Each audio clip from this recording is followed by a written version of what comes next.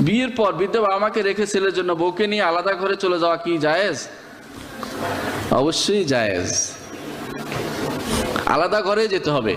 মানে বা আতা ফালিয়ে জওয়াজ কেউ যদি সক্ষম হয় সেজন্য বিয়ে করতে বলেছে। বিয়ে বিয়ে ওই সময় করা উচিত। একজন একজন ছেলের ওই সময় বিয়ে করা উচিত যে আলাদা ঘর বাঁধতে পারে। এটা উচিত। কিন্তু এর আগেও করতে পারে।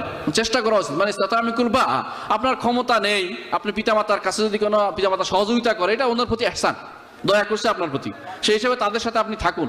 কিন্তু যদি আপনার ক্ষমতা থাকে, ভিন্নভাবে থাকার, শরীয়ত এটাকে নিষেধ করেন। আপনি দেখেন, যখনই এরকম বিয়ে হয়েছে ইসলামের ইতিহাসে, কেউ একসাথে থাকেনি। মেয়েরা বিয়ের পরে স্বামী, স্ত্রী ভিন্ন ঘরে ভিন্নভাবে থাকবে, এটাই অনুমোদন করে। হ্যাঁ একই ঘরে থাকতে পারে, একই বাড়িতে থাকতে পারে, পরস্পর দেখাশোনা হতে পারে, কিন্তু এর কারণে মেয়ে যদি আমাদের যারা মায়েরা আছেন, তাদেরকে বলে, অনেকেই মনে করে যে বউ নিয়ে আলাদা হয়ে গেছে, আহারে আমার ছেলে নিয়ে গেল।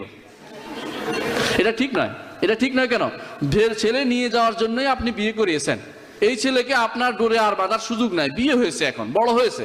বিয়ে হয়েছে তাদের মধ্যে, তাদের ভিন্ন সংসার যেমনিভাবে যেমনি ভাবে আপনি হয়তো আপনার শাশুড়ি দ্বারা নির্যাতিত হয়েছেন এক সময়, দেখা করেননি দিনের বেলা, ভয়ে কথা বলেননি। এখন বুড়ো হয়েছে বলে আপনার ভবিষ্যৎ প্রজন্মকেও সে সুযোগ দিবেন না। এটা ঠিক নয়। ঠিক না? স্বামী স্ত্রীর মধ্যে সবচেয়ে বড় জিনিস হচ্ছে তারা একান্তে থাকবে, এক ঘরে থাকবে এটা হচ্ছে নিয়ম। আপনার সাথে দেখা হবে, কথা হবে, আপনার প্রয়োজন পূরণ করবে।